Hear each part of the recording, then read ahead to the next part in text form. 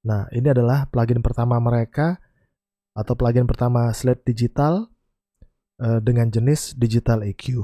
Namanya Infinity EQ. Kalau dilihat tampilannya seperti ini, seperti plugin-plugin zaman sekarang juga ini bisa digedein, bisa dikecilin karena udah vektor. Uh, kalau kita lihat dari kiri atas, di sini ada yang namanya apa namanya preset. Kemudian bisa juga diselect dari sini atau ini sama aja sebenarnya. Kemudian ada undo, kemudian ada reset, kemudian bisa di AB, kemudian di sini ada show spectrum, kemudian di sini bisa reset spectrum, kemudian di sini ada apa help. Oke, okay, help dan ini juga bisa di uh, full screen pluginnya. Kemudian di sebelah kanan sini ada metering. Kemudian ada band global curve sebelah kiri bawah. Nanti kita sambil dengerin ya. Kemudian ada pilihan left, right, dan mid side. Dan ini bisa di yang mana yang duluan? Urutannya. Kemudian ada phase inversion. Ini untuk bypass.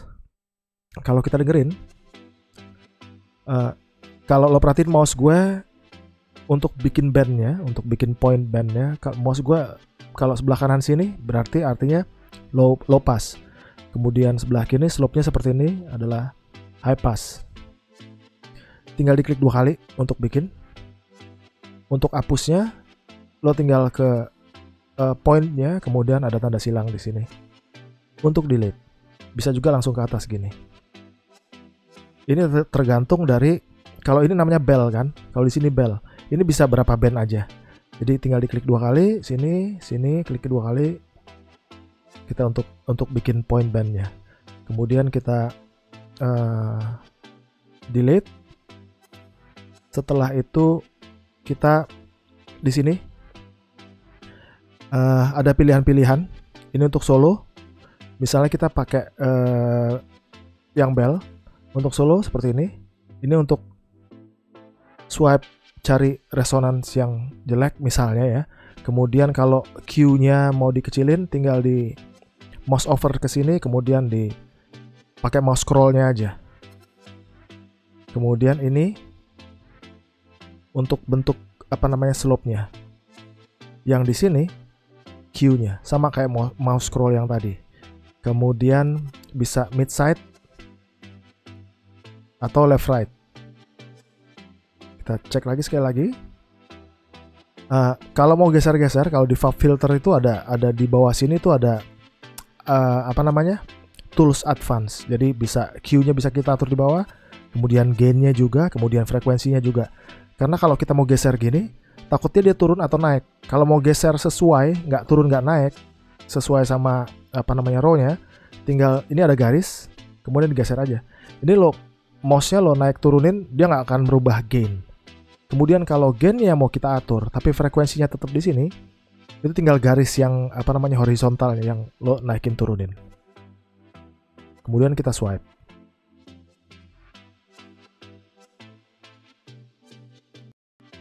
Oke, okay? uh, eh, di sini ada global curve sama bands only. Yang ini kita lihat bands only, ini bandnya ini maksudnya average-nya ya. Jadi dia bergeraknya pelan banget karena dia average rata-rata. Kalau global curve-nya cuma begini doang. Misalnya kita mau bandingin sama uh, fab filter, pasti udah udah pada tahu fab filter. Uh, fab filter ini uh, enaknya itu kita bisa apa namanya dynamic EQ jadi misalnya kita pilih di sini, kemudian di sini ada untuk bikin ke bawahnya. Jadi ini seperti kompresor. Kemudian dia ada brick wall. Kalau bisa di sini. Ini buat motongnya drastis banget. Kemudian juga ada ada stereo, ada mid sama ada satu lagi fab filter mendukung zero latency, natural phase sama linear phase. Tapi nanti mungkin kapan waktu kita bahas di sini. Kemudian fab filter itu bisa uh, sidechain atau bisa menjadi uh, bisa dibikin EQ match. Jadi misalnya nih plugnya gue mau taruh fab filter juga.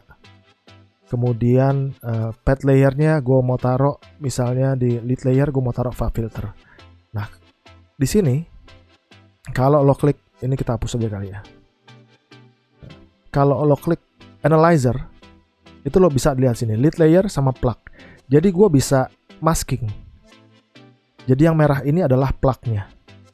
Jadi kita bisa tahu di mana area yang bertabrakan. Ini biasanya warnanya merah gelap. Atau merah terang justru ya. Atau sama lead layer yang satu seperti ini. Jadi sekitar sini sama di sini itu kira-kira agak-agak tabrakan sedikit. Uh, kemudian bisa juga sebagai EQ match misalnya lo mau reference lo ada ada musik reference sama mau lo mau reference. Maksudnya gini musik kita sendiri kita mau reference ke musik orang. Kita pengen liatin uh, pengen kita samain. Kita bisa pakai match EQ um, apalagi kayaknya udah cukup. Ini hanya apa namanya preview aja Infinity EQ dari Slate Digital. Mudah-mudahan bermanfaat mudah-mudahan bisa menjadi informasi. Uh, terima kasih. Stay safe. Sampai ketemu lagi